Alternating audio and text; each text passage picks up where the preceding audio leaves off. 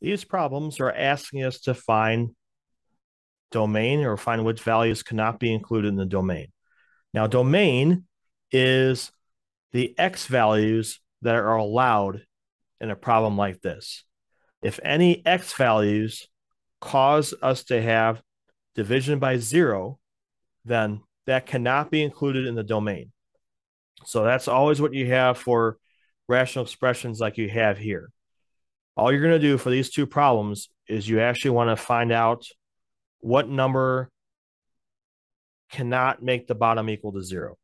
Any numbers that make the bottom equal to zero are not going to be included in the domain. Okay, so what we're going to do is we're going to say this. Whatever's on the bottom, which in this case is x cubed minus x, whatever's on the bottom cannot be equal to zero. It's always what you're going to do for rational expressions like this. You just take the bottom and you put not equal to zero. Then you want to solve this. That's going to tell you what values are not allowed in the domain. All right, so this one, we're going to factor out an x. That's a common factor here. When you factor that out, you'll be left with x squared minus 1 inside the parentheses. X cubed divided by 1x will give you x squared, and negative x divided by x gives you negative 1.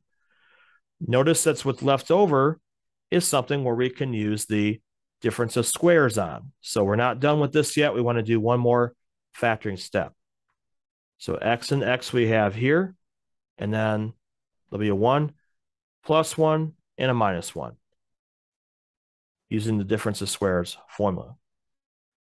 So now I have all these. So what I'm going to do is every one of these things I'm going to set to be not equal to zero. So I have my first answer, x is not equal to zero. Then I want to do x plus one is not equal to zero. x minus one is not equal to zero. I'm going to subtract one from both sides here, and I get that x is also not equal to negative one. Add one to all the sides here. And I get x is not equal to 1. So now I have three things that I found by solving, three numbers that cannot that, that x cannot be equal to. If I put a 0 on the bottom, a negative 1 in the bottom, or a 1 in the bottom, that's going to cause a 0. So I can't have that because I can't divide by 0. Uh, something divided by 0 is considered undefined. So these would be the three numbers that I'm not allowed to use because remember, domain, domain is talking about only the numbers that make the the expression defined. Okay, so if anything makes it undefined, like dividing by zero, those are not included in the domain. So basically, we say that x cannot equal zero, negative one, and one. So all three of those are numbers that are not included in the domain. Let's look at another example similar type question.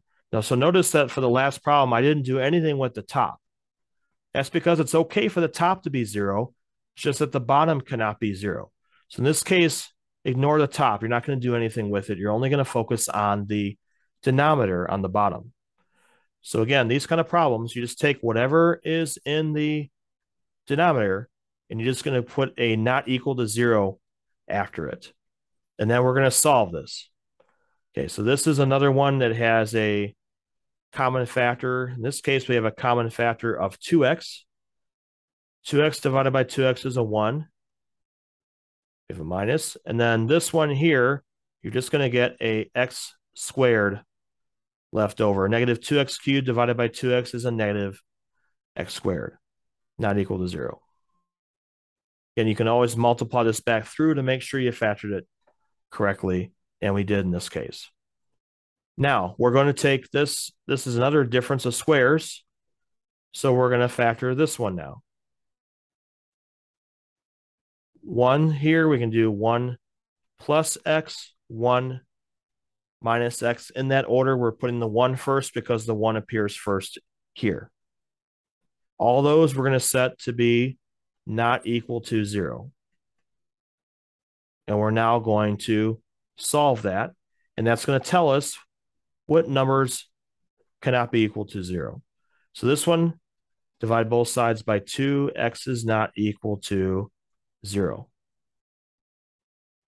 Next, if we subtract one Here we get another answer. X is not equal to negative 1. This one, if I add the x to the to both sides, then I get that 1 is not equal to x. So on this, coincidentally, I happen to get the same answers as before. X is not equal to 0, negative 1, or 1. Those are the numbers that would cause division by 0. So anything that causes division by 0 is not allowed in your domain. So any other number here will work. It's just that I can't put these three numbers in there. Otherwise, I get division by 0. It would cause it to be undefined. And for domain, we only want the numbers that make the expression defined.